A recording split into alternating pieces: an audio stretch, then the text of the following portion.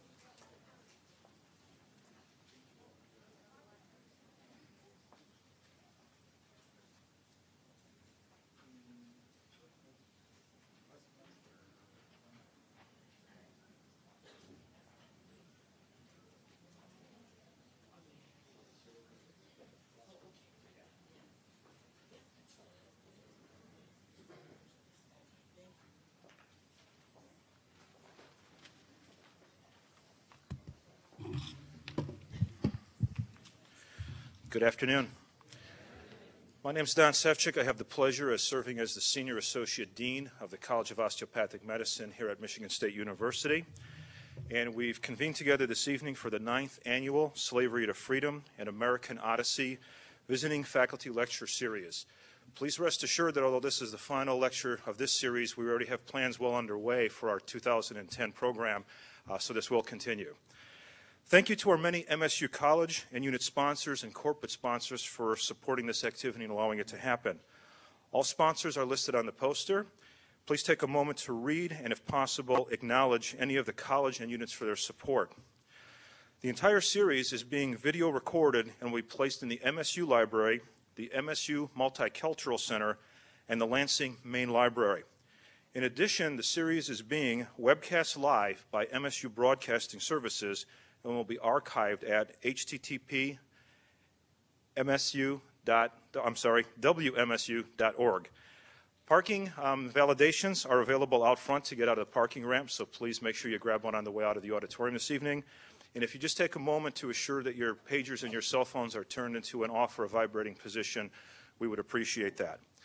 It's now my pleasure to introduce Dr. William G. Anderson, who along with his wife Norma, Martin Luther King Jr., Ralph Abernathy, and others were the foci of the Albany movement, one of the most important civil rights struggles in the United States. One of the first African American osteopathic physicians in the South, Dr. Anderson ultimately became a surgeon in the Detroit area and subsequently rose to assume the national presidency of the American Osteopathic Association.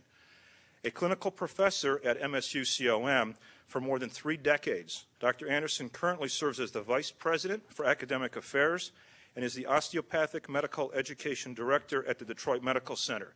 He also serves as a Senior Advisor to the Dean of the College of Osteopathic Medicine. Dr. Anderson.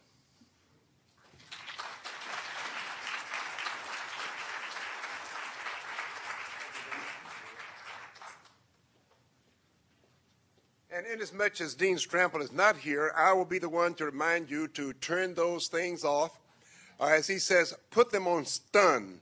So when you all of a sudden jump up, I'll know that you have been stunned, and it's time for you to answer whoever that is calling.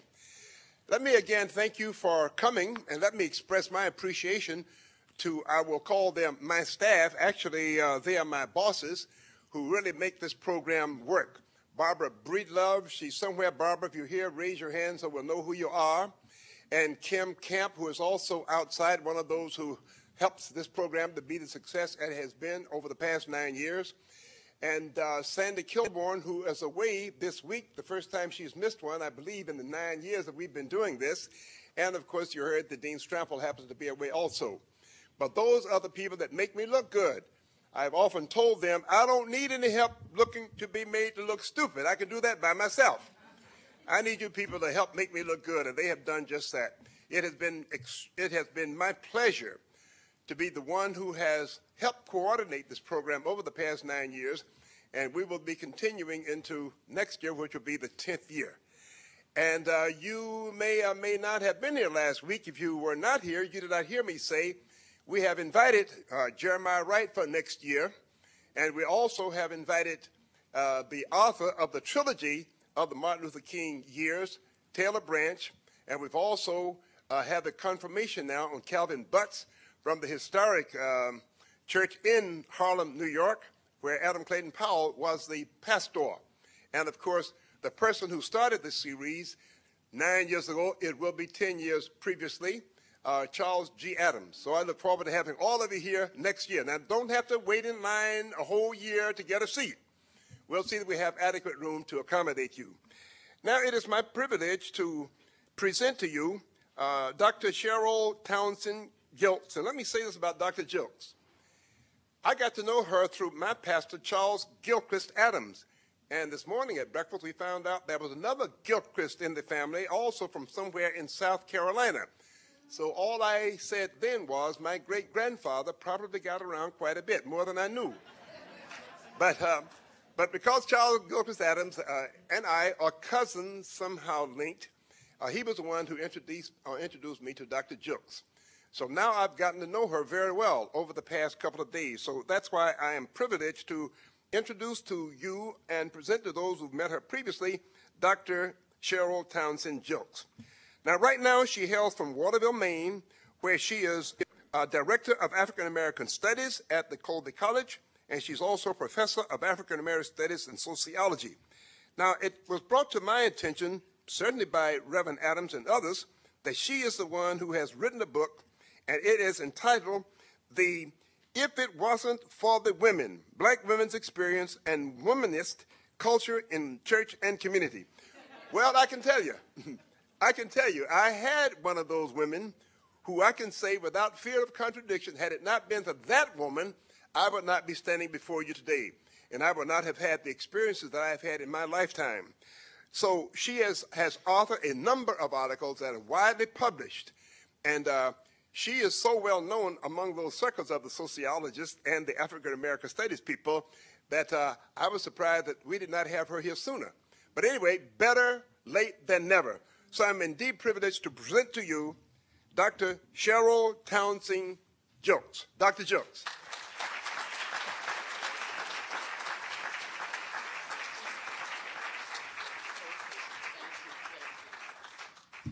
Good evening. First of all, let me say thank you to Dr. Anderson and his staff, especially Ms. Breedlove, who had to um, wait for the delays in my responses to emails because I seem to have what I call acquired attention deficit disorder, adult acquired attention deficit disorder brought on by the onslaught of email. I'm just not ready for the 21st century, so please bear with me. But also to the dean and to all of the uh, faculty and staff of the College of Osteopathic Medicine, to all of you here at, at Michigan State University, and members of the community, I say good evening and I thank you for this honor. I feel deeply honored to have seen the wording on the publicity that labeled me a civil rights leader. I am, I, and I believe me, growing up in Cambridge, Massachusetts, um, was a little bit different than Albany, Georgia. But my first time I was on a picket line, Dr. Anderson, I was only 12 years old. So I missed a few moments of the movement in terms of participation. But I am honored that to be included in this august series of people who all of whom I admire, many of whom I know, and those whom I do not know, I wish I did. So you've been very fortunate here at Michigan State University, and I hope I do not do anything to make you feel unfortunate this evening. I am just happy, glad to be here. And then to that beautiful chorus that just sang, um, thank you, because my title tonight is Yet with a Steady Beat, the gift of an activist womanhood. Nearly 46 years ago, the Reverend Dr. Martin Luther King Jr. challenged America with a speech that was actually a sermon that has been so quoted and overused that one of King's biographers has suggested that there be a 10-year moratorium on playing that speech. I do not agree with him. Inspired by the prayer of the clergy coordinator of the Student Nonviolent Coordinating Committee, Prathia Hall, later Reverend Dr. and Professor Prathia Hall, King told America that he had a dream. That dream of equality and interracial community stretched across this continent-wide nation, east and west and north and south. In that dream, King not only named some of the nation's greatest landmarks, but he signaled by naming Lookout Mountain in Tennessee, and Stone Mountain in Georgia that his dream included a vision of conversion and inclusion of the most visible and violent purveyors of racism. King then, like the good Baptist preacher that he was, to his very bones, reached back to the voices of the prophet Isaiah and John the Baptist, saying, I have a dream that one day Every valley shall be exalted, every hill and mountain shall be made low, the rough places shall be made plain, and the crooked places shall be made straight, and the glory of the Lord shall be revealed, and all flesh shall see it together. This is our hope. This is the faith. With this faith, we shall be able to hew out of the mountain of despair a stone of hope. With this faith, we will be able to transform the jangling discords of our nation into a beautiful symphony of brotherhood.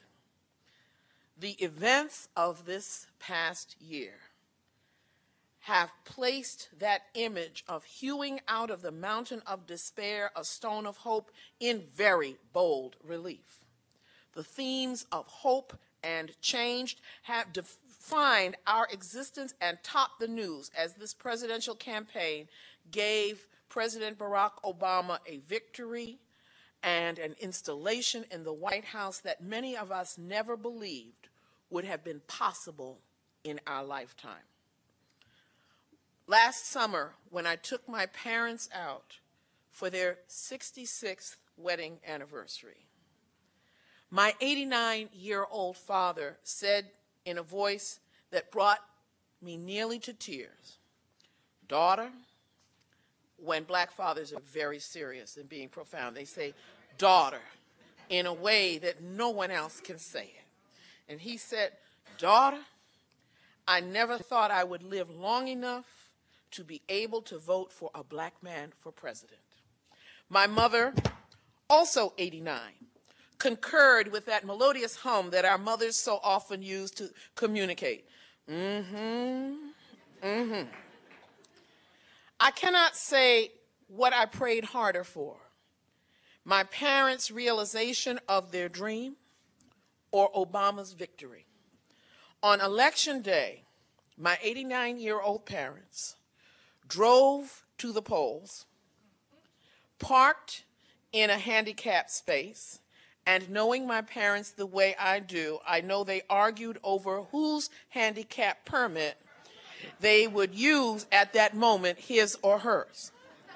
And then on their canes, daddy on his one point and mommy on her four point, made their way into the polls. Daddy said things sort of came to a halt when they arrived because the people at the polls knew them. My parents have voted since they've been able to vote. Took me with them when I was little. I remember being in the polling place in a snowsuit. Okay? And those of you who know snowsuits, know I was little. Okay? They and so they came in and the people saw them, escorted them to the head of the line, and my mother told me with a note of joy that made it sound like they had a second honeymoon. We voted in adjoining booths. We were right next to each other when we voted for Obama. My mother, who attended segregated schools in Philadelphia and whose mother took hot meals to the soldiers who rode public transportation in Philadelphia to defend newly hired black motormen. My father, who used Maryland's collegiate segregation statutes to wangle a scholarship to Morehouse and who fought in a segregated army during World War II and went back for Korea, with, and who has his Purple Heart, his Bronze Star, his Oak Leaf Cluster, and his Silver Star, and a whole lot of other things I don't understand. You know, those patches and those bars and those, mm, I don't understand it, but he's got a lot there.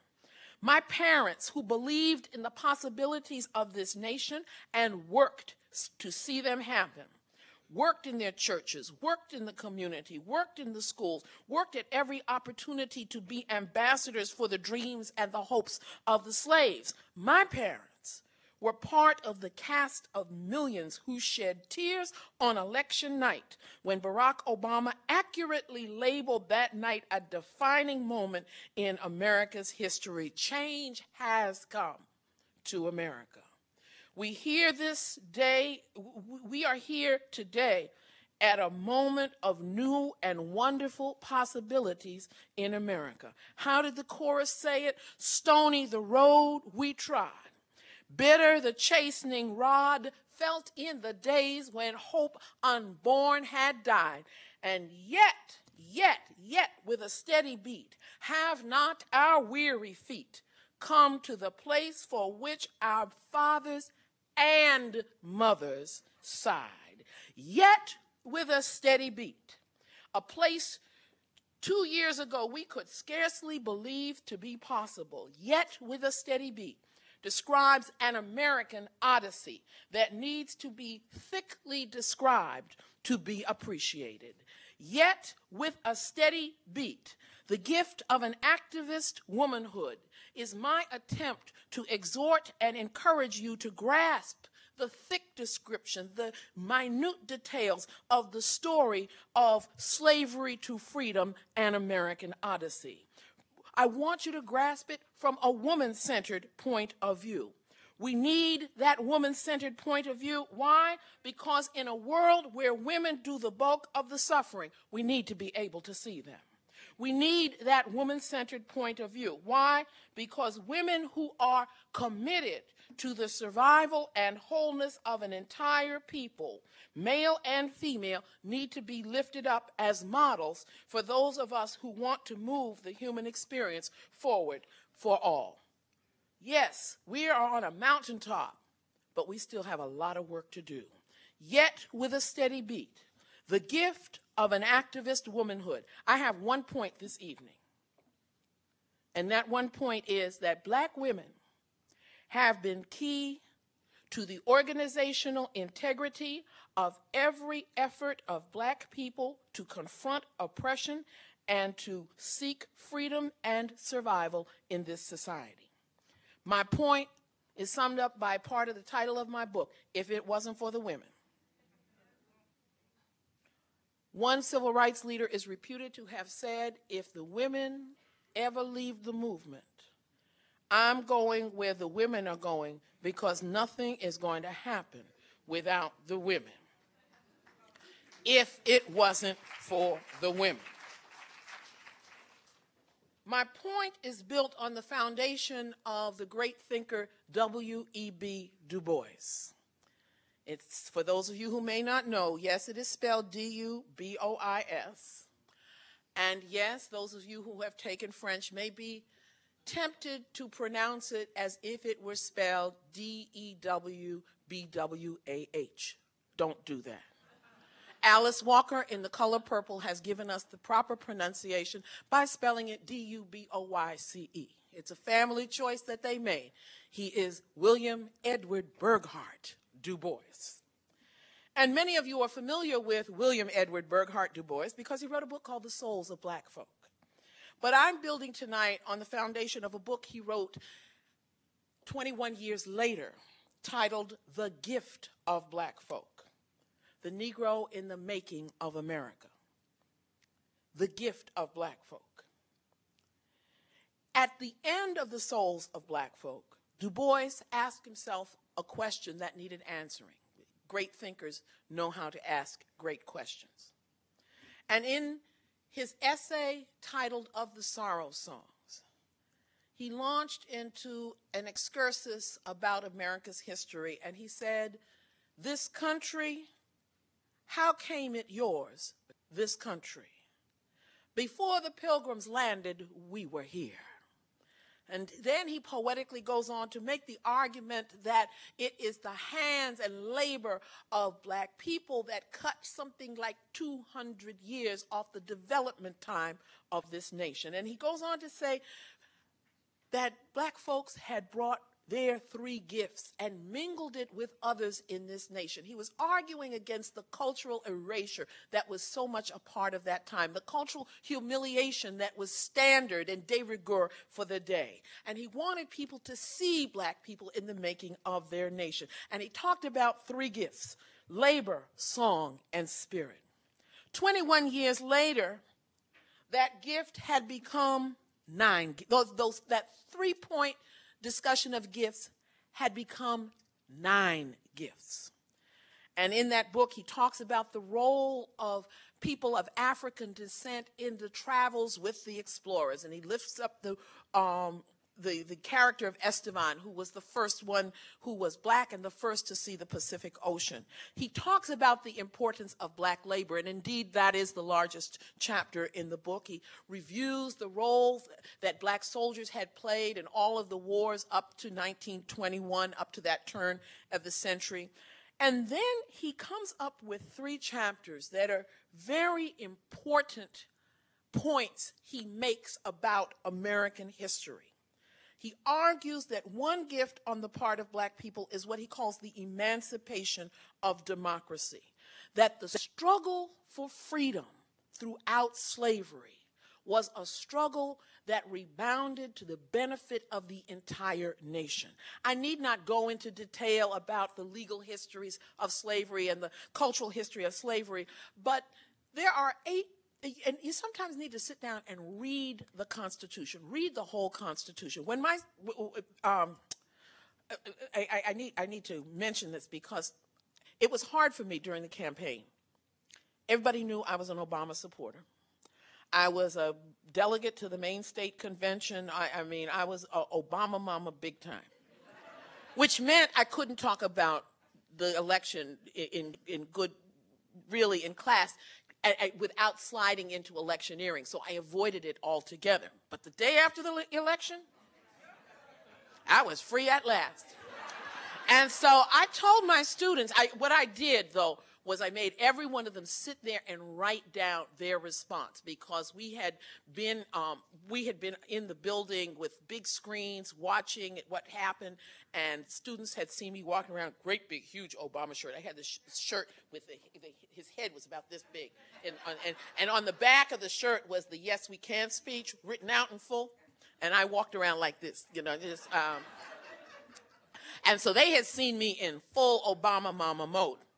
But I had them all write down their response so everybody would have something to say and no one would be suppressed because I wanted to make sure. I had some conservative students who didn't vote for him and they wanted to talk about their reaction because they were moved. And so we talked about this. And at the end of the discussion, I said to them, you need to do this. If you have not read the Constitution, and I'm saying this to you also, if you have not read the Constitution, sit down and read it word for word.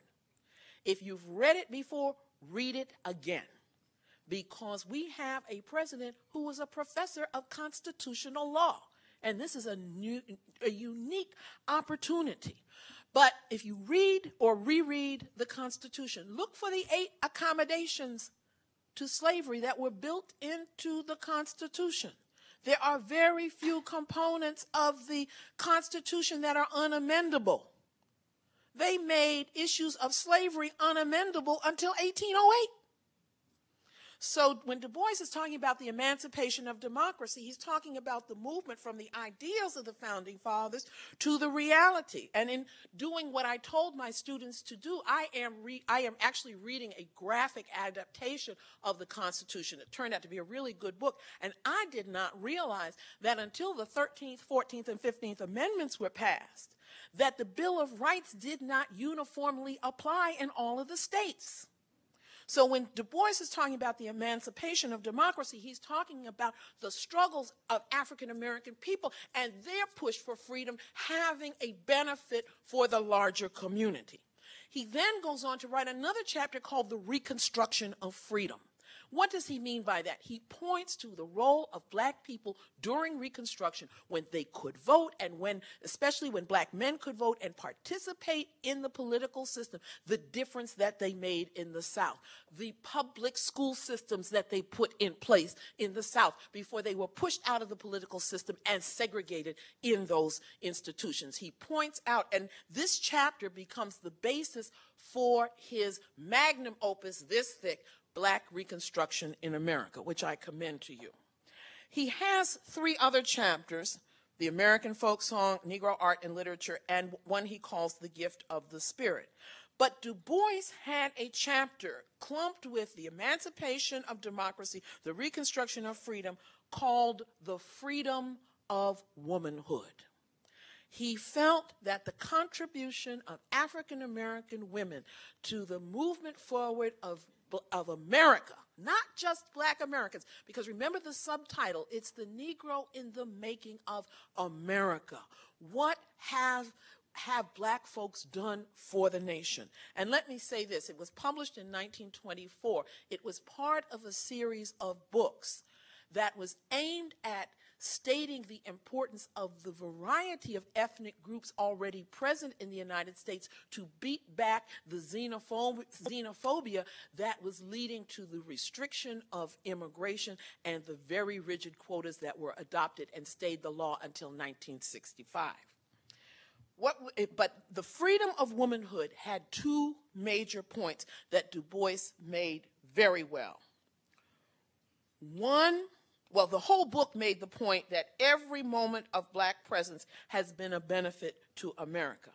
But then in the chapter, The Freedom of Womanhood, Du Bois argues that black women liberated all women through their labor history, number one, and their political activism that led to community building, number two. Those were his two points.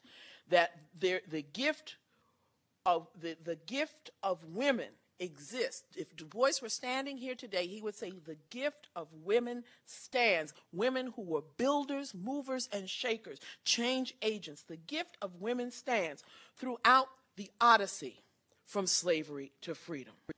From the point of deportation, and I've been looking at women for a long time, and when we want to learn about women, we have to sometimes be conscientious about it because so much has been eliminated, elided.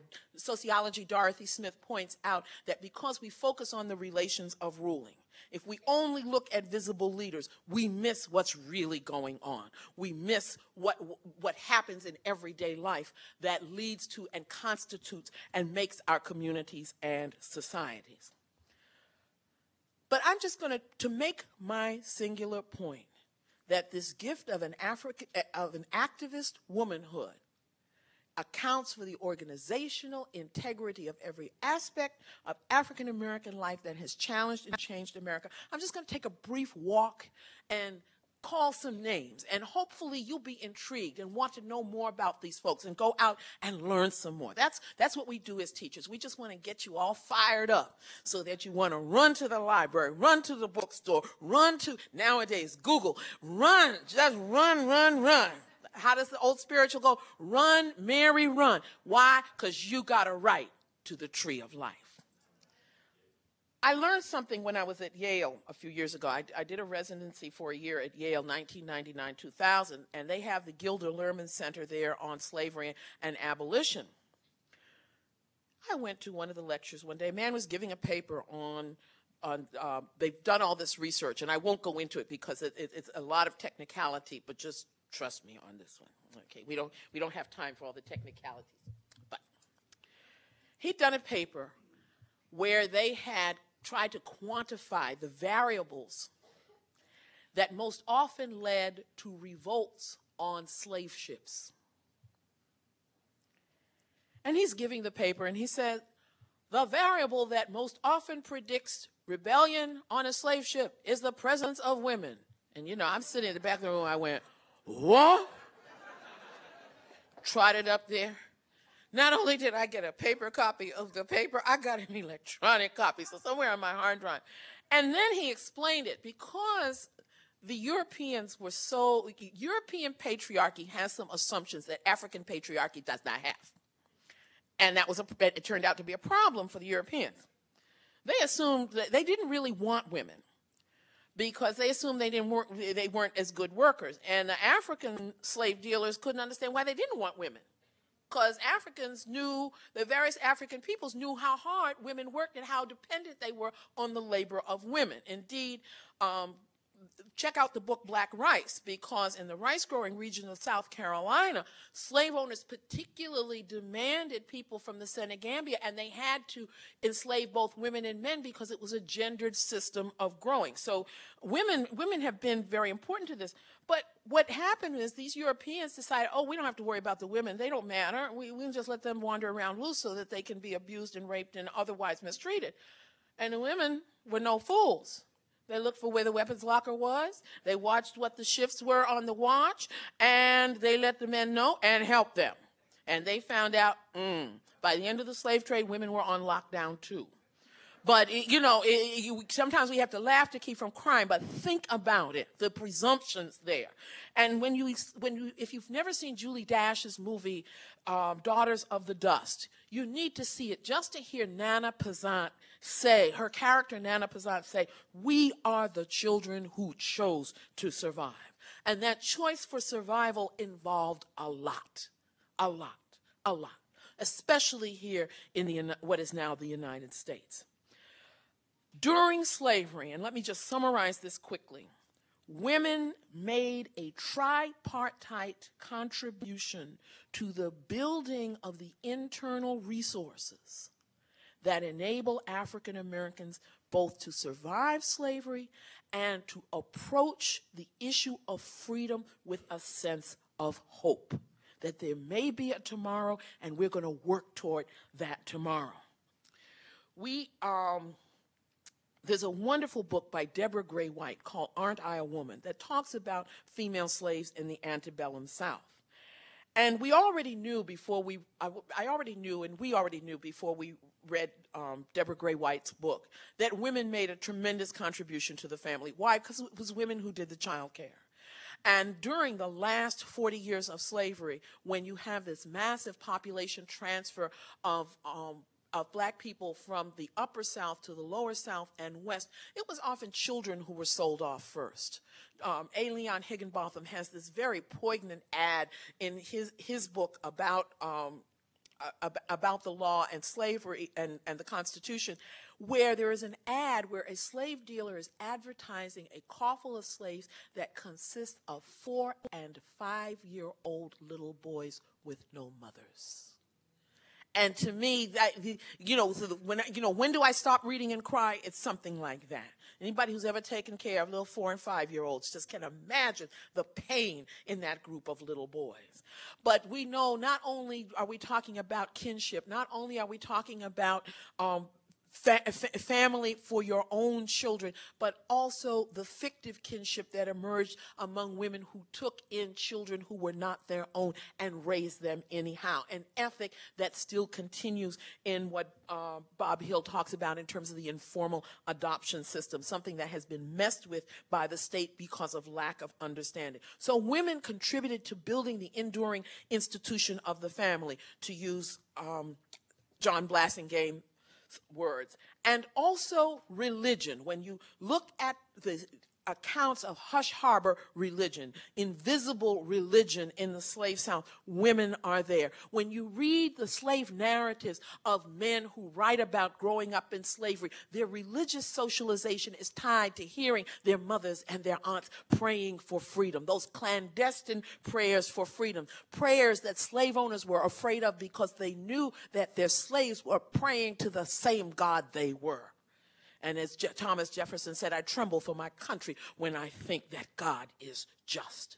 But Deborah Gray White makes a good case for arguing that there's a third institution, a third set of resources within the slave community that she calls the Women's Network because women helped one another, and in the process of helping one another, they helped the entire community. In some ways, they retooled the toolkits that were the cultural toolkits that they brought with them from Africa, their role as healers, their role a- a- as midwives, and they learned from the native peoples what the flora were that they should use for healing purposes. Um, I had my students read a book by Marcus Rediker last semester called The Slave Ship, and he talks about the whole institution. And the irony was that slave captains would dump crew members who were sick and ailing and just leave them on the beaches because they were trying to cut costs.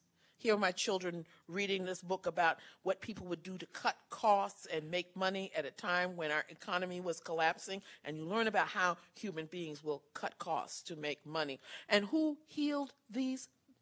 Usually men, sailors left on the beaches the people that they had enslaved, usually the women healers who knew what to do for their diseases when European doctors did not. But during slavery, everybody knows about Harriet Tubman, and we're taught in school that she is a conductor on the Underground Railroad. Well, I'm here to tell you tonight Harriet Tubman was not a conductor on the Underground Railroad. She was an abductor on the Underground Railroad. Abductors on the Underground Railroad were to conductors what special forces are to infantry. People who went into the South and brought slaves out. She was the only woman and the only black who did it. All the other abductors were white males. Harriet Tubman. You can talk about Sojourner Truth and her travels around preaching against slavery. We know those women. But do you know Maria Stewart? Who was the first woman in America to speak before a promiscuous audience. You are a promiscuous audience, men and women in the same room together, and leave us a manuscript as evidence. We don't know who the first woman was, but we know who the first woman was who left us a manuscript as evidence, and it was Maria Stewart and the women who, black women who formed anti-slavery societies in the North, black women who participated in the formation of the African Methodist Episcopal Church in the North, Jarena Lee. Deborah Gray White points out that women in the slave community had their own special prayer services together, and they generated their own leadership that sometimes became visible and provided leadership for the entire community. She talks about a slave named Cinda who had a vision and thought the world was going to end on a particular day, which was not unusual in those days because remember the Adventist movement was going full blown in the 19th century. The Sojourner Truth was part of that movement. And the entire slave plantation laid down their tools and stopped working and went on strike, waiting for that day and the, the owner the owner beat them, tortured them. They would not go back to work until the day came and passed. So there's a tripartite contribution to the organized resources within. They are something within that enables survival, both physical survival and psychic survival. Du Bois tells us it's the voice of a woman who raises a song when they are told on the sea islands that they're going to lose their land. And then we get, let, let me call the name of Milla Granson, who, um, if, you, if you remember, it became illegal to teach slaves to read. But yet, a minimum of one in 20 could read in 1865 when emancipation happened. Those who could read would teach one. A woman by the name of Milla Granson ran a little school for slave children, black woman. She was a slave. She could read, and she would have 12 students at a time. You know, that number for discipleship. And when the 12 had learned, she'd let them go and bring in another 12. She got caught and the state discovered they had said it was illegal for white people to teach slaves to read. They had forgotten to put in the law that it was illegal for slaves to teach slaves to read. They had to go back and rewrite the law. So this is what women do. We, but we have to go back and look for them. Reconstruction, the educators arise. Women from the north, black and white, go south and they discover, they, they want to bring the light of the gospel. Discover that folks are self catechizing community, been that way, Christian community, according to Raboteau since 1820, but they want to learn to read. They want to learn to read that blessed book before we die. And they find themselves teaching children during the day and at night. Here come the adults, men and women, wanting to learn to read, bringing their produce as payment because they do not have cash. When we look at the women educators that go into the South and begin to build educational systems, build schools, then we can also say we need to look at the women who keep things moving yet with a steady beat at the end of the Civil War, throughout the rise and fall of Jim Crow, they are women builders. They are the ones who start schools. Lucy Craft Laney, who was born a slave, builds up a school, an institute, and you know the thing is, well, we, maybe we should only do industrial education in the South. There's a real ambivalence in America about educating people at public expense. And that ambivalence is rooted in this time period because people did not want to educate the children of slaves. They wanted them in the fields working, not in the classrooms learning. So there's been this struggle. And on the philanthropic side, it was, well, we'll pay for industrial education. Um, and Lucy Craft Laney said, okay, um, send me money for my industrial school. And in her industrial school, she taught French, she taught English, she taught Greek, all the liberal arts and all the good manners. She gave them the cultural capital and the social capital along with the educational capital. One of her teachers was Mary McLeod Bethune. You know that name. but she is identified by Sadie Iola Daniel as a woman builder. Maggie Lena Walker, where people are forming burial societies at the end of the Civil War, ways to support one another, fraternal organizations. And Maggie Lena Walker takes the Order of St. Luke and turns it into a bank and becomes the first woman bank president of any color. There are so many more that I could name if time would allow, but time will not. But let me mention, I've already mentioned um, Mary McLeod Bethune, but let me me- mention someone who is also her, her, her, her equal, her, her, uh, her in her cohort. A woman by the name of Nannie Helen Burroughs and another woman by the name of Charlotte Hawkins Brown. I grew up in a church that has a stained glass window donated by Charlotte Hawkins Brown, a young woman whose family had migrated from North Carolina, and they were part of the founders of my church in 1878. 1878 in Cambridge, Massachusetts. They laid their cornerstone in 1883, the year my grandmother was born and Karl Marx, Marx died. And they decided they were going to build this church and they were not going to use the sanctuary until it was fully paid for. And, and, that was the ethic of these folks, both from New England and from Nova Scotia and from North Carolina. And, and, and Charlotte Hawkins Brown took her education and went back to the South and built up the Palmer Institute. And, and again, providing resources, providing cultural capital for young people. Mary McLeod Bethune left um, Lucy Laney School and went on to found her own school. You know the story Daytona uh, Industrial and Normal School in Florida with a um, little bit of money on a garbage dump and, and and took that vision. She went to a meeting of the National Association of Colored Women's Clubs and sent a note up to Mary Church Terrell and said, Can I say a few words about my school? And Mary Church Terrell said, Yes, come here, young woman. She got up and spoke about her church, and Mary Church Terrell was so excited. Now, for those of you who know the issues of conflict around color in, uh, in African American life and culture, you need to see this scene. Mary McLeod Bethune came from a family in Mayesville, South Carolina that was proud of their unbroken African heritage. And Mary Church Terrell occasionally could pass.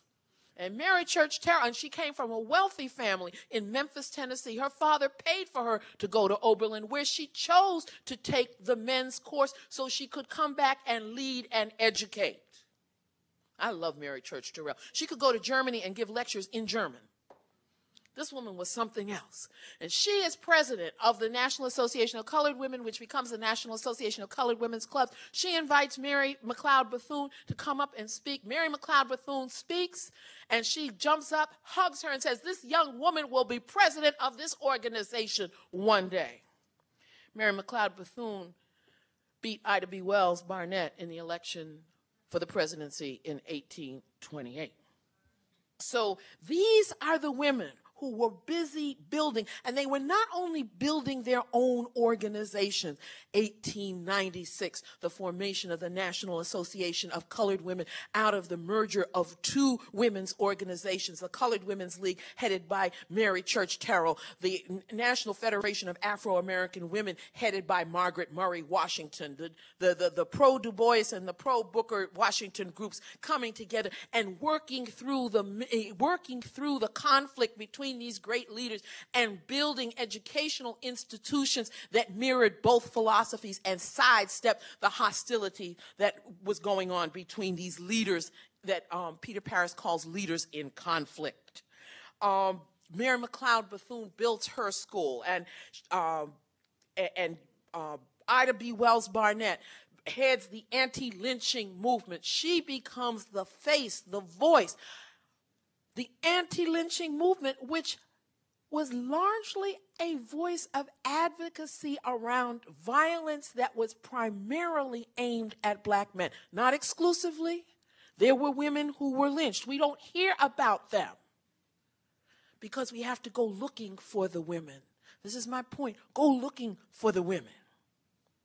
Go looking for the women. The book Gender Talk talks about those women who were also lynched. Sometimes they were lynched because they came out and tried to stop their husbands from being lynched. Sometimes they were lynched with their entire families. the history is so ugly. But here is Ida B. Wells Barnett, who, who, who loses her parents in the yellow fever epidemic and um, wants to keep her family together, her brothers and sisters, who fibs about her age and gets a teaching job. And, but she's also writing editorials. She's also writing editorials. She becomes part owner of a newspaper and writes such a stinging editorial, such stinging editorials that her life is threatened. And here's this elegant woman walking around Memphis with a six gun on her hip, saying, "I will give my life. I will sell my life dearly. You try to come and kill me, I'm going to take you with me. We'll go see Jesus together." Okay. But eventually, she writes an editorial that is so inflammatory that they burn her presses, burn down her newspaper office, and wait for her at the train station because they plan to lynch her publicly. And she is in New York on a speaking tour. And the activist women, the women in the National Association of Colored Women's Clubs, come together to help support her and relocate her and make anti lynching part of their work. And I'm only at Reconstruction, and I could go on and call an awful lot of names. But we, but, but let's talk about this rise and fall of Jim Crow. There's a wonderful series I want to recommend. I mentioned it earlier today, but let me mention it again. NPR um, Public Television did it, and it's called The Rise and Fall of Jim Crow. And the producers consciously, consciously identified both men and women leaders and talk about them together. They talk about the relationship between men and women dur- during and after Reconstruction. The women who couldn't vote, who encouraged the men to vote, the women who provided security for the men's, for black men's political meetings, or who were present and participating in the discussion, even though they could not vote. So when you go looking for the women, they are there and you have to you have to seize that moment and they build and they work anna julia cooper who will be on the postage stamp this month who wrote who told us that when and where i enter without suing then the whole race enters with me. She grasps that that, that thought, understanding, that idea that black women had. They said, yes, we are the most oppressed, but if we push from the bottom, the whole race the whole community will rise. And then we have to learn to go back and look at the civil rights movement with new eyes. I can call the names Septima Clark, Daisy Bates, Gloria Richardson, Jo Ann Gibson Robinson, and of course, Rosa Parks. But we also need to look at what people like Rosa Parks did after the civil rights movement, after the Montgomery bus boycott. She, we learned from that funeral of hers how much she had done to help build young people. She continued on in the tradition of a woman builder building up the young people and having them look forward to the future. When we turned on the funeral of Coretta Scott King, it was a learning experience to find out all the work she had been doing all of the time since Martin had left us. When, when, when you hear the head, former head of an FBI get up and say he gets a letter from Coretta Scott King and he is afraid to open it because he knows what the FBI did to them and here is a letter inviting him to participate in a program that's aimed at quelling youth violence. And he goes.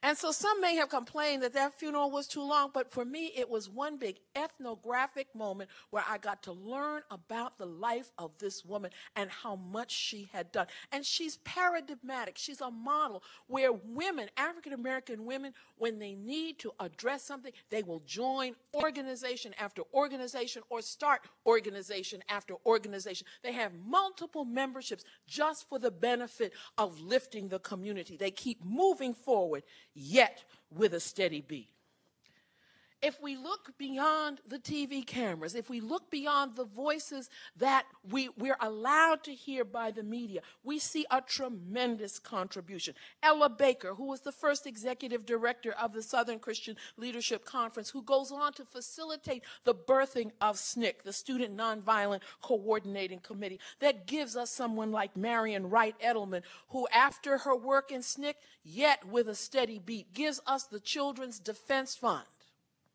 and has her motto ripped off by the Bush administration. No child left behind. She said, leave no child behind. It was trademarked. They knew it, but they said it anyway. But yet, with a steady beat, she has continued with her work. And we have to look beyond 1965 and beware of the attempts to shame black people into a into a, a, a, a, normative patriarchy that erases their appreciation of the power and competence of women and their leadership. Did you know that because of the Moynihan report, Ebony magazine was getting ready to publish a, a special issue on the contributions and the achievements of Negro women? And when they when they saw when they heard what the Moynihan report said, they wrote an editorial saying, all these achievements are wonderful, but the past is behind us. It's, time for women to go home and stand behind their man. I have copies of that editorial. But yet, with a steady beat, women kept on regardless. I should call the name Fannie Lou Hamer while I'm standing here. We've got to call the names. And yet we can keep on going. Angela Davis, so many prominent women. But we need to look at the stories of organizations. Read Paula Giddings' new biography of Ida B. Wells Barnett, A Sword Among Lions. Not only do you learn about Ida B. Wells, but it is like reading an ethnography of the organizational history of Black America. It, you find out all the work so many people did to get us to this moment of celebration. And yet there's so many contemporary women who are still doing the work, yet with a steady beat yet with a steady beat. Cinda and Jarena Lee, Sojourner Truth, Harriet Tubman, yet with a steady beat. Mary Church Terrell and Mary McLeod Bethune, yet with a steady beat. Ida B. Wells Barnett, Charlotte Hawkins Brown, yet with a steady beat. Dr. May Chinn, yet with a steady beat. Mrs. Daisy Bates and Dr. Anna Arnold Hedgeman, yet with a steady beat. We can just keep on calling names. Thousands upon thousands of women and girls who marched over bridges and into jailhouses and into freedom schools and in front of voting registrars, yet with a steady beat. Fannie Lou Hamer and Septima Clark, yet with a steady beat, so many thousands more. The organizations and individuals who gathered money and talent and resources to change America, and even before election night in 2008, America was, because of these women, Dorothy Height, America was a changed place. In the 40 years since Martin Luther King stood in a Memphis pulpit and adopted the perspective of Moses, we've got some difficult days ahead. But I'm not concerned about that now. I just want to do God's will, and He's allowed me to go to the mountaintop, and I've looked over and I've seen the promised land. That promised land to which people were marching, yet with a steady beat. The majority of people today, and this is a good thing, but it's a problem. The majority of people today have no memory of Jim Crow. And we have to send our students now to the history books if they are to understand segregation in the United States, apartheid in South Africa, colonialism in Asia, Africa, the Americas, and the islands of the sea. We have to send students to the history books, but those history books have not included in an affirmative way the contributions of women. The odyssey that, that this nation has been through from slavery to freedom, it's not just a black odyssey, it's a national odyssey, has brought profound change. The odyssey has brought also discovery of more and newer work to do. At this defining moment, at this instant of new possibilities where we can encourage new kinds of thinkings and nurture great expectations, there are still tremendous places of great deep need, where hope is still unborn, and where we need to make sure that that hope does not die before people can see the light. We cannot lose the beat. so much is still with us. Violence is still with us. Poverty is still with us. We need to look at poverty in our nation and in the globe around us. We need to look and see the clear link between AIDS and poverty and dislocation and challenge eh, eh, that challenges all of us to address its causes and to seek its cures. Balm in Gilead, the founder, is a woman. In the face of this epidemic of greed and stubborn ignorance of the importance of community, we need to be reminded that the good and just society is neither the thesis of capitalism nor the antithesis of communism, but a socially conscious democracy which recon reconciles the truth of individualism and collectivism we still need the leadership of women that lifts communities, that builds communities, that knits communities together and lifts up a nation. In the face of the resegregation of public education and the economic segregation of all education, we must still move yet with a steady beat. In this new defining moment, it behooves us to learn as much as possible about our potentials for new kinds of participation in government and governance. Look to the women, Charlotta Bass, who ran for president, uh, vice president a long time ago, Shirley Chisholm, who ran for president not too long ago, Carol Moseley Braun, who ran for president, and look at all of the women at local levels who have done the work, done the work that is necessary to push us ahead. We need to address all of these problems and conditions. We need to explore how women have done this and learn from them. Why? They have brought us to this place for which our fathers and mothers sighed, yet with a steady beat. Thank you very much.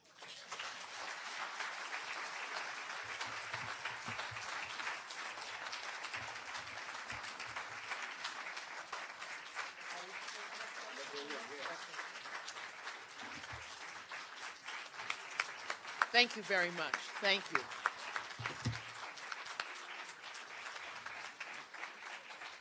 And uh, Dr. Gilkes will take a few questions, but before the questions come, I would like to make this presentation. And of course, this is from the state of Michigan, and it's signed by Joan Bauer, the state representative, Barb Byrum, also state representative, Mark Meadows, state representative, and our very good friend, Gretchen Whitmer, state senator, and of course, our distinguished Governor Jennifer Granholm, and this is a special tribute to you. Thank you Dr. so much. Oh, she's been in the news lately. Yes, Yes. Now, Yeah. so take some questions. Stand up and shout your name out and shout your question out, please. Any questions? No questions. Any questions? Well, I always think say to my students, it's- were a couple thinking. Clear as mud, right? Any questions? Yes. Yes, stand right up and shout. Uh, you'll, you'll be second. First. All right, I'm Dr. Karen Rogers, faculty here. Yeah. Um, I've been watching the Six Days series on African American lives, and I'm wondering um, if you could tie that work, that large body of work that he's collaborating on, with some of the studies that you have participated in. Okay, now which series is this? Is this? The one where he's going back and finding, delineating the family trees of several African Americans. Okay, people like Oprah and, um, Joyner, um, yeah. Tina um, Turner, my girl. I love Tina Turner. Yeah. Um, I don't know how that specifically ties in.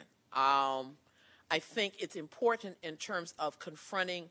Um, earlier, when I was talking to a group of students, I talked about American um, racism using the words of Jim Cone as having sort of a uh, sort of like three legs to the stool economic, exploitation, political exclusion, and cultural humiliation. I think that that series combats the cultural humiliation, but it also helps us to begin to learn something about the diversity of the African American population. Um, both the diversity of our African background, which we, uh, and, and keep in mind, and, and I need to say this, it has only um, John Blassingame's book, I think, came out in 1974, The Slave Community. Until the 1970s, and this is- and thi- this is work that it, it- I, I get upset when I still get upset when I realize this. Until the 1970s, the men and women who were enslaved in this nation were a variable in the debate between two schools of historians. One school of historians that said the South was right. And in that model, the Ulrich Bonnell Phillips model, people who were enslaved were too inferior to be on their own, and slavery was seen as a civilizing influence. And that was it. Or there was the school that said the North was right. And that model, slavery was so destructive that it was impossible for people to be human. I remember getting, I, I mentioned the um, title of Blassingame book one time uh, to a colleague in the hallway. He was a philosopher, Quaker. He was also the director of African American Studies before I got tenure there. And this is a good man. This is, this is somebody whose heart, mind, and soul were in the right place. But when I said slave community, he said, it is not philosophically, and he meant this, not philosophically possible for people who are not free to form community. And I'm like, if this is the presumption of American philosophy, this is the, the this is the headwaters against we're against which we are rowing. And so just to assert the humanity and the ability to respond in human ways to inhumane circumstances became a major issue. And so we did not have an understanding of the everyday lives of African Americans under slavery uh, and what people did for themselves. We had little stories, but interestingly enough, one of the biggest things to happen during slavery was the um, Nat Turner Revolt. Where was it in our textbooks? Mm-hmm. Not they didn't say a mumbling word. They just passed all these laws that said we had to have supervised worship and we couldn't be taught how to read because he was a literate slave preacher. So in that sense, series like that combat the cultural erasure. Martin Luther King, in his last book, Where Do We Go From Here? Chaos or Community. I also recommend that highly, highly, highly, because he gives a laundry list of the um, issues that we must address. One of those issues that he cites in that book is the cultural erasure of African Americans as an, a component of American racism. He tells the story of he and his wife, and remember, she was a professionally trained concert singer. Um, she knew the the European body of work and she knew the spirituals. They go to their child's desegregated integrated school to watch this pageant by the students on the um, the peoples of America. They end after they sing all these songs from various ethnic groups, white ethnic groups. They end with Dixie. And he said he went home not only weeping for his children and the other children who were not, not one single spiritual was shared with them. This body of work that Du Bois tells us is so important, and Du Bois is right about that. But he wept for America that did not know. So series like that does combat the cultural erasure, does help us to understand the diversity of the African American population's experience both during and after slavery, and the way in which various families, um, families and family histories were constructed. I'm not so sure. I, the ideology of DNA is problematic for me because um, I've got little students, and I really they have they have to put up with my attitude because now the new thing is that when they walk up to um, a, an African American student who's lighter than a number two brown bag, oh, are you biracial? Because if they're not quite fully black, then that's better. And so they, and so, and the students have been writing on their civil discourse about, well, Obama's not really fully black. Well, um, hello.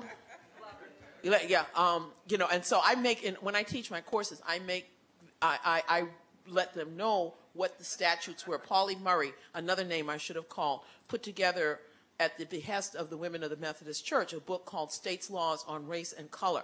And you get this compendium of all of the laws that existed in the 48 states in 1950, including the legal definitions of who was colored. And in Alabama, now, you know, Louisiana was 164th, there was a limit. Um, Alabama said not without limit or with reference to number of generations. And Kentucky, I mean, they just flat footed said they, they, were, they, the laws were aimed at the descendants of slaves. So, yes, we are a Creole people. Yes, we are a mixed people. But, and no, we did not make defined science out of defining who was black in America. But now, in terms of the desire to continue the exclusion of black people, now my white students want to measure how black people are not in the process of defining who they are. And so this is the new struggle that they face. Know, I had I had I had a I had a Latina student one time sit in a um, meeting we were having um, on campus. I'm getting tired of being mistaken for a light-skinned black person. This is the you know racism is malleable and it changes, and I think in that sense, on the one hand, it does give us the diversity.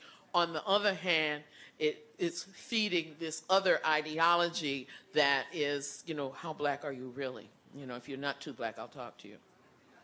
One last question, all the way in the back. Oh, up, who was shout the it out. second person? Oh, okay, okay. I just want to thank you for coming. I want to thank you for that wonderful presentation. And my question, in the new spirit of hope, mm-hmm. uh, what did you see our First Lady Michelle Obama getting involved in, in terms of ah. supporting, promoting, pushing black women, particularly, to uplift the race and to service our country? Did you see her speaking, Howard? She's already started. Encouraging and uplifting a new generation of women who are trying to figure out how to handle their professional lives and their family lives. She is speaking out already. Did you see her talking to those school children who came in during Black History Month and telling them the history of, she's already started. Um, I love it. I love it. I love it. I have to, I actually have to write a paper on this for the American Sociological Association this summer. So, uh, and I'm fascinated because during the campaign, she was compared to Jacqueline Kennedy Onassis. And of course, they're talking about, well, Jacqueline Kennedy had, you know, original fashions from France, et cetera, et cetera. But the, but what people don't talk about, and you know, the importance of the first lady as an icon. And it, when you go back into the history of black women, the refusal of people to call us ladies, to try to, you know, what, what the labels on the bathroom? White ladies, colored women. This is a new day just to call her lady. Okay. But when you compare what um, the way in which um, Jacqueline Kennedy became an icon and what is not talked about in terms of the things that she did. Did you all know that she, when she was running that school in the White House for her children, remember they were trying to keep James Meredith out of University of Mississippi. It took the confrontation of the military with governors to get one or two black students into universities. They were shooting at people. And didn't she have one black student in that classroom? And nowadays we say one black student is tokenism. At that time, it was truly revolutionary. Okay. But remember in all of the tributes when she died, they didn't talk about that. Jet Magazine did. And if you, on, if you only read the um, magazines and newspapers of white America, you would have never known that Jacqueline Kennedy had that kind of relationship, that she admired Martin Luther King, that she believed in civil rights. You never would have known any of that. You never saw any of the pictures of her visiting Coretta Scott King at the house after King was assassinated. And so, um, and a number of things that she did. So I, I'm actually going to be working on this paper that sort of compares, you know, looks at how we construct American iconography in a racialized society. But she's already doing it, and, and, and the outreach, the kinds of things, bringing in people who are trying to learn how to be chefs who have been in jail. She's already had them in the White House. This woman hit the ground running. They both did. And it, it it's just, you know, I, I, I, I just am amazed at the, the other thing that I told my students was to go out and get books to learn about actually how the work of the presidency is done in everyday life because we don't really know that. You know, and, and when Condoleezza Rice became Secretary of State, I read, started reading, I still haven't finished it, but I've read enough of it. I read Madeleine Albright's book, um, Madam Secretary. One, because Madeleine Albright was the first woman to become Secretary of State. But then I wanted to learn the work of Secretary of State. What is a typical day? What is the work? What must you do? What kinds of pressures are on you? And and I and I had a different take on her than a lot of my colleagues did because I started finding out what was the work. So the, um, Hillary Clinton did a wonderful book on doing things at the White House, and the kinds of things that have to be done there in terms of the choices and what it means to be in that fishbowl, and to realize she has already started making, putting a signature on it, a stamp, and has opened it up to people who would never have had a chance to be in that White House in that capacity. And we're only at how many days into this presidency? So I'm real, and she and, and she represents, and this is so important. Before the women's movement started talking about dual career families, she represents that tradition that Bart Landry has identified that goes all the way back into the 19th century of educated black professional women choosing both marriage and family as well as career and being pilloried for it in the mid 1960s without an understanding. So, so uh, she, she, she, to me, she, she does, she does a lot. Uh, Obviously, now you're uh, you're talking to an admirer. Hello, I am biased. I am a compromised personality. Uh, there was a burning question here. Come on, Stanley. Let's get that one, and then we're going to let her go. Go ahead. There you are. I meant to call you when I. Hi, hi, hi. We know each other. Um, I was wondering if you could talk a little bit more about, you mentioned um, the role of women inside of religion, um, inside of African American culture. I was wondering if you could talk a little bit more about that, and just briefly, in terms Briefly, of how, um, briefly. in terms of organization and kind of this behind the scenes. It's not just behind the scenes. We have to be careful about that phrase, behind the scenes. Because, and this is what happens when you look at the three square feet that represent the pulpit. Okay? Um, now, I'm not saying this to disrespect the pulpit. Hello? And then let me whip out my Reverend Doctor here just to make sure that you understand, okay? But this is what happens when we do the relations of ruling. Um, when you start looking at who built, and I, some of the work that I do, I look at um, how certain denominations grew, where you talk about women who preach revival, women who dig out churches, women who form the missionary societies and control the money.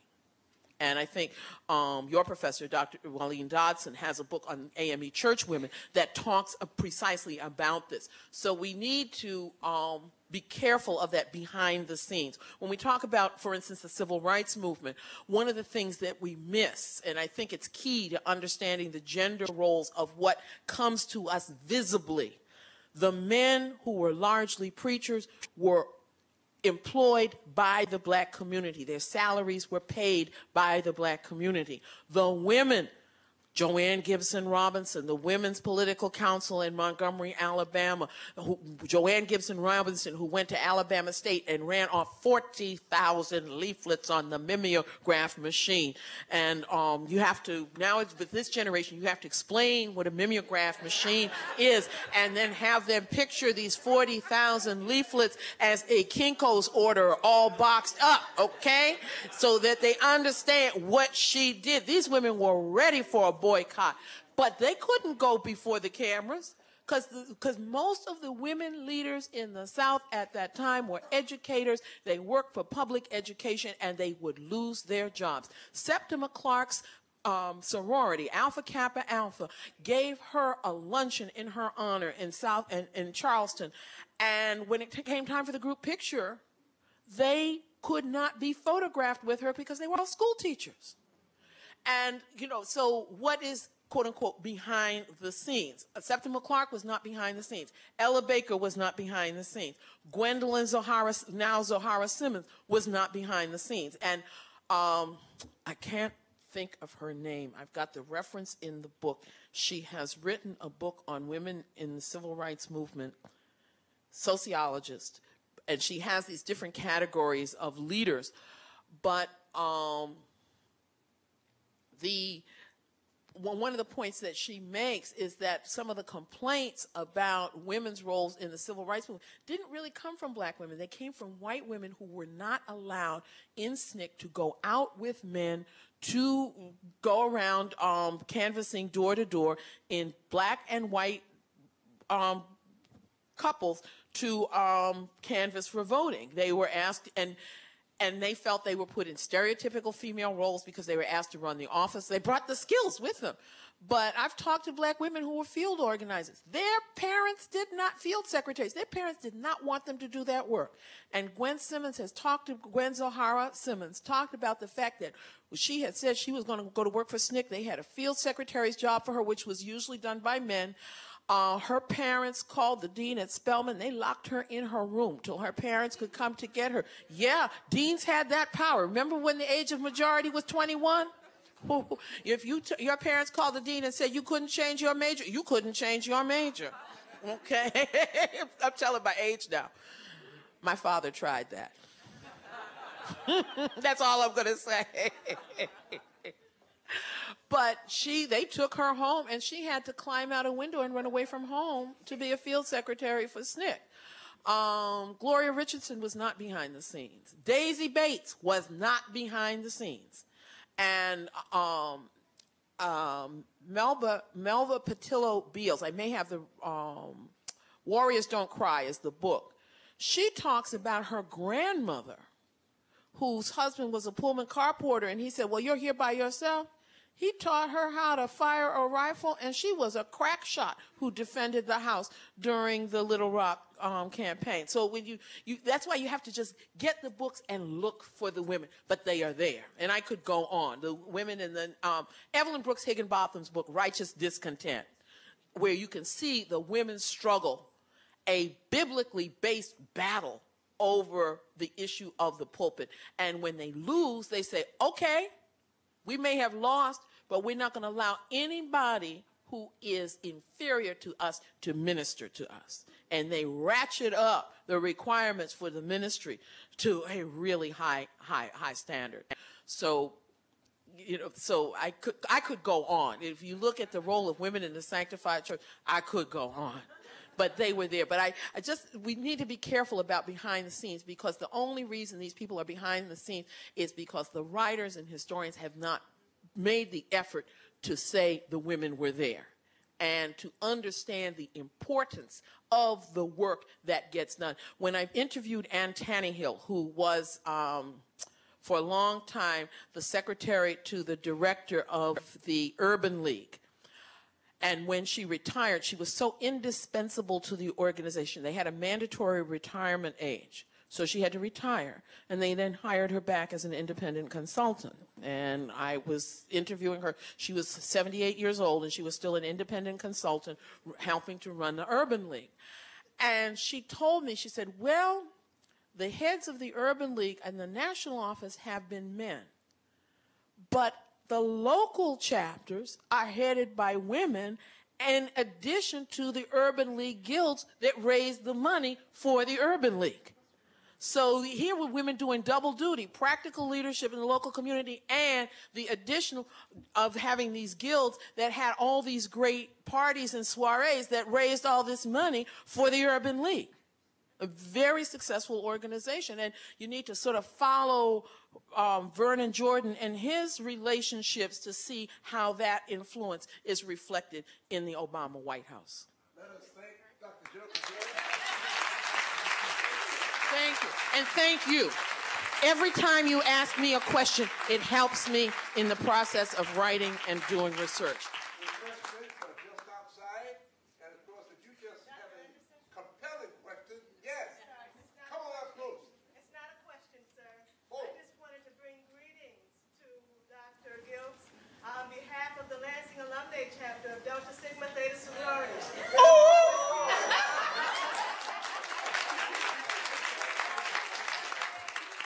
Sorors, I thank you. Thank you. And Dorothy Height is a Delta. Yes.